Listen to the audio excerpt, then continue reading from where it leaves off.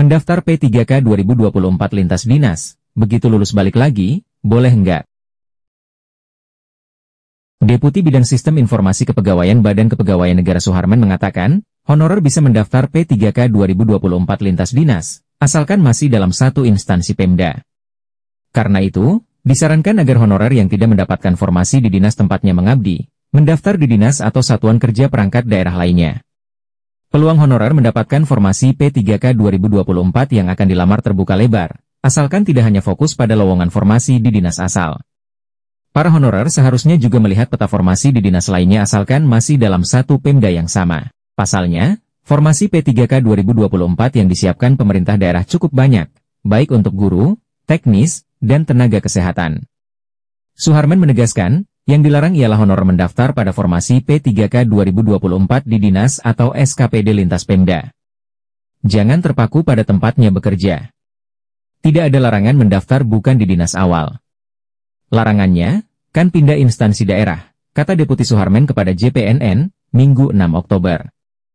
Namun, ternyata ada fakta lain terkait masalah ketersediaan formasi. Banyak honorer K2 dan honorer database BKN yang justru enggan mendaftar formasi P3K 2024 lintas dinas, ketika di dinas tempatnya mengabdi tidak membuka formasi jabatan mereka. Koordinator Wilayah Perkumpulan Honorer K2 Indonesia Provinsi Kalimantan Tengah Tri Julianto mengatakan, fenomena honorer enggan mendaftar P3K 2024 lintas dinas, terjadi di dinas-dinas.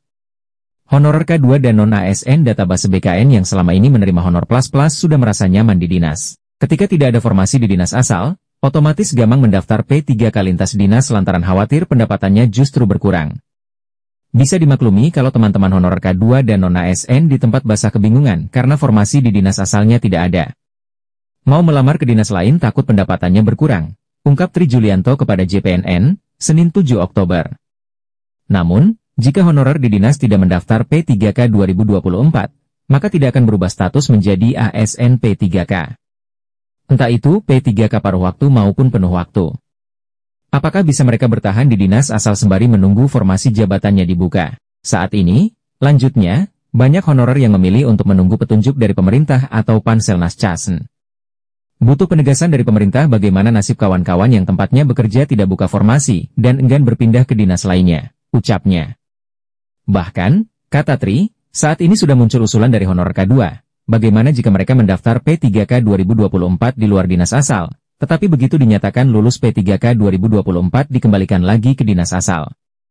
Apakah hal ini bisa? Untuk mengetahui update berita terbaru terkait tenaga honorer, jangan lupa untuk terus ikuti perkembangannya dalam channel ini, dengan cara, tekan tombol subscribe.